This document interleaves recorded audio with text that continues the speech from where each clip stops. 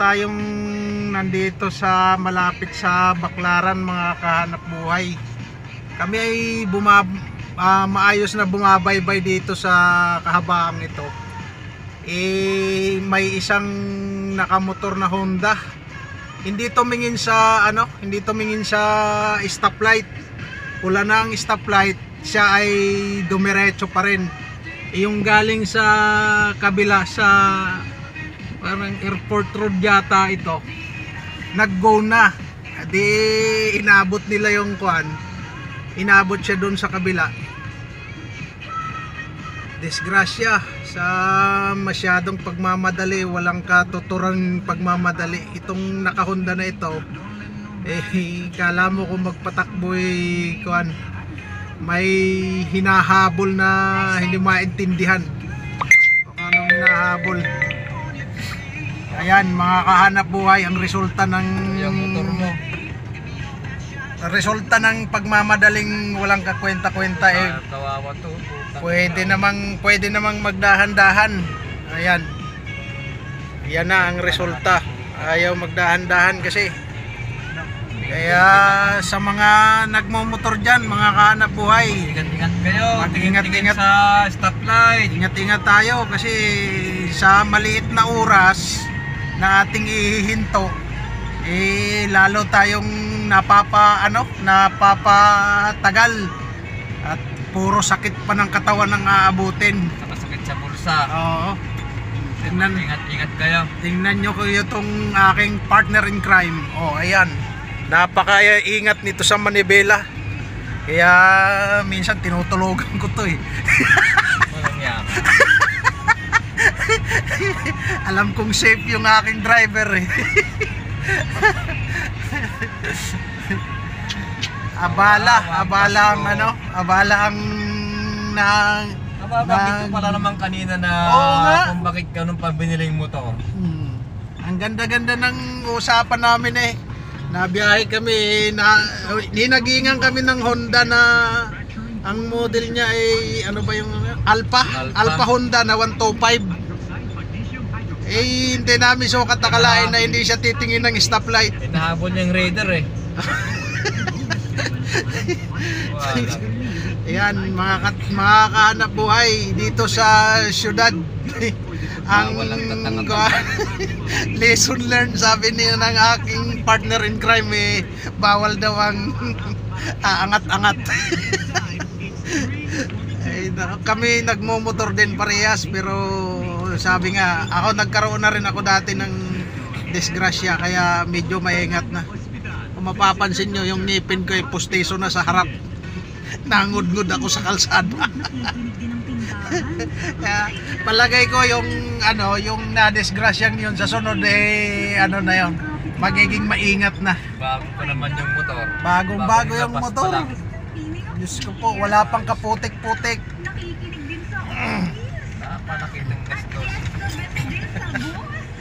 Magpapasko pa naman, kawawa naman yung mga yan. Kawawa talaga. Eh, Wala tayong magagawa. Lumingon pa kanina eh. Hmm, lumingon. Tayo liningon nun, tayo liningon. Akala siguro eh nakatotok tayo dun sa kanyang puwitan eh hindi naman tayo kahit naman gabihin tayo sa kalsada basta makauwi lang ng ligtas eh okay na. Ay, nako. Maraming dapat obserbahan sa kalsada mga kahanap buhay. Hindi pwedeng matulin lang yung motor mo eh paano kung hindi mo na kayang pahintuin. Madali daw magpatulin ng sasakyan. Hindi problema yon dahil okay naman yung makina. Ang problema kung paano mo lang pahintuin. Kitang-kitang talaga. Inabot talaga. Wala talaga eh. Nakagunay sa kabila eh. Eh kung may ano tayo, dating naka-record tayo, di kitang-kita talaga sa eksena.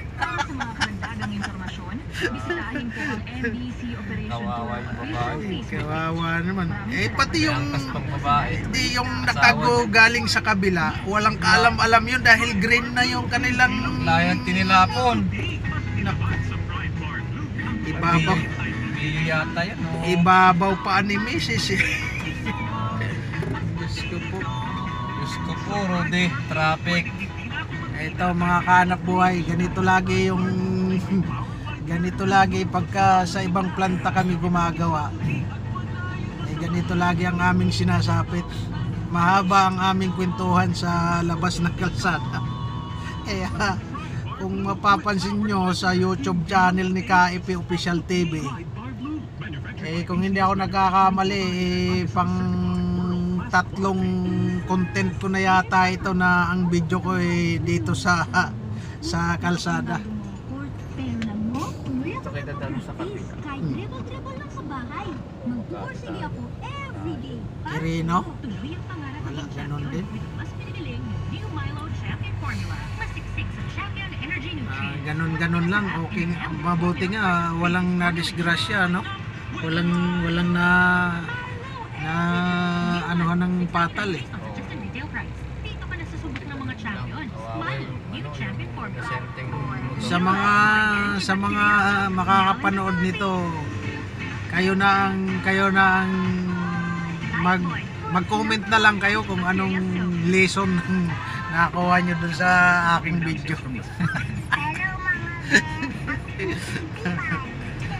Pakilapot ang lesson ninyo. Ah, iwanan nyo na lang ang lesson. Mag, mag-iwan na lang kayo ng bakas sa aking YouTube channel. At ako'y sasagot sa inyo kung mag-iwan kayo ng ano. Maayos kasi kanina ang ano doon, ang traffic maluwag galing ng ano, galing ng stoplight na sa may ginagawa naman dito kaya traffic. oo. Budo. Kaya yung naka Honda 125 tinitesting yata yung kanyang motor at bagong bago kung matumba. Sabi nga ni kasamang Pedro eh dapat daw yung mga ganong motor hindi daw binibirit ng gusto at eh, baka daw eh, um- umiksi ang buhay. Eh sa madaling sabi, yun ang aming pinag-uusapan pagdating sa stoplight. Dir- pula na ang stoplight, hindi pa siya nag-minor. Di nayari niya yung dalawang motor, walang kaalam-alam yun. Iyan nga ang kasabihan. Eh sa kalsada daw, kung ikaw ay nag-iingat, tapos yung ibang nagmumotor naman, hindi nag-iingat, disgrasya pa rin ang inabot.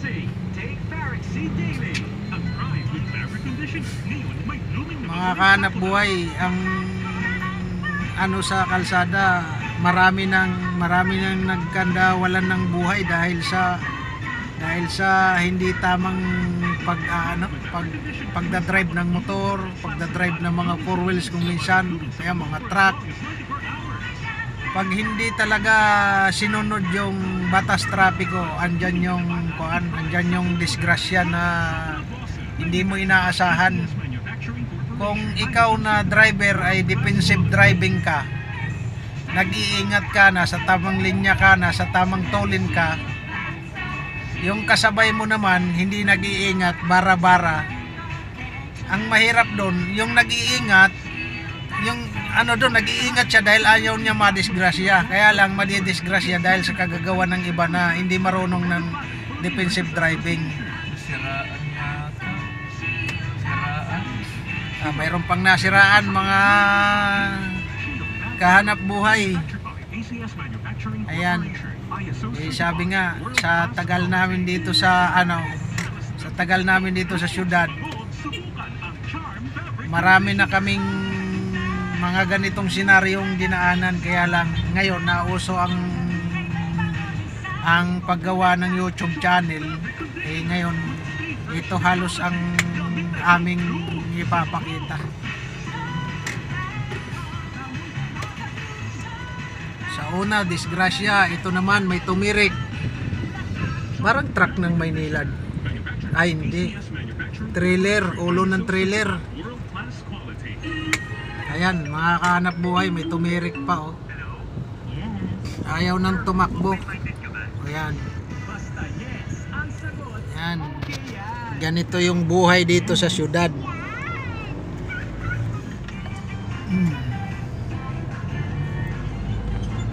akala ko hindi ako makakagawa ng video ngayon at eh, sabi ko parang pare-parehas na lang. Pero syempre vid- parang kakaiba sa paningin.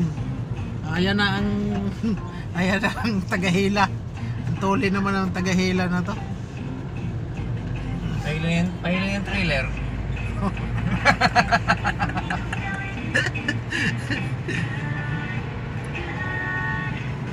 Na lang yung ano, yung trailer may problema, hindi naglalak yata eh. Ah, Yung ano, message.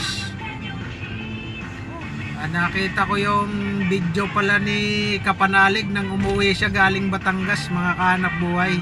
Dito siya dumaan. Ah, um- alam ko ngayon si Kapanalig nandito si sa ano nabutas sa dati niyang tinitirahan. Malamang ang balik niya mga New Year na. Ah, siguro makikipag collab kami sa kanila sa mga bukana vlogger pagdating ng ano pagka pwede ng yumahe at eh, idol na idol ng aking anak yung mga bukana vlogger. Ah, tuwang-tuwa siya pagka ano Ah, para sa kaalaman lang po ng lahat ang aking anak eh, yun ang nag-request na pumunta daw kami doon sa Batangas sa Bukana Vlogger sa Sword Family. Dahil yun ang madalas niyang pinapanood sa YouTube. Ah, ayaw ko namang tanggihan ang anak ko at may diferensya sa puso. Bali na operahan siya sa puso ng 2013 yata tapos hanggang ngayon nagmi-medicate siya ang pagkaalam ko parang mayroon pa uli siyang opera hindi pa na-schedule ngayon at eh, medyo mahirap pa yung panahon Magtanggal ng heavy duty serum sa kawaling kaldero. Solid din magtanggal ng bakterya. Kaya number one na ang Smart Dishwashing Paste. okay Ah, Dishwashing mga kanap buhay huwag niyong kalimutang i-like at saka i-subscribe yung aking YouTube channel. I-hit na lang po ninyo yung ah, notification button button para updated kayo sa aming mga video na gagawin pa. Magandang araw sa lahat sa buong Pilipinas at saka sa mga OFW na nasa ibang bansa eh, mga kayo yung mga bayani. Mapakahirap sa ibang bansa para sa ating bayan. Ah, hanggang dito na lang muna uli. Ito yung kahanap buhay. Ah